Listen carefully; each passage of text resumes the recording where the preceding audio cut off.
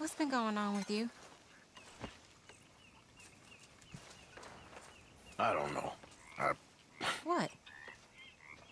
been acting kind of crazy. Mm-hmm. How so? I've been killing. A lot. I mean, innocent folk. I don't know why. Yeah, that's bad, Arthur. That's real bad. I know. I just. You know me. Sure. I know you. But then you go act all crazy. You're up, but I've always been crazy. No, you haven't. Maybe Mike could put a spell on me. And maybe you're just being a fool. No, there's always that.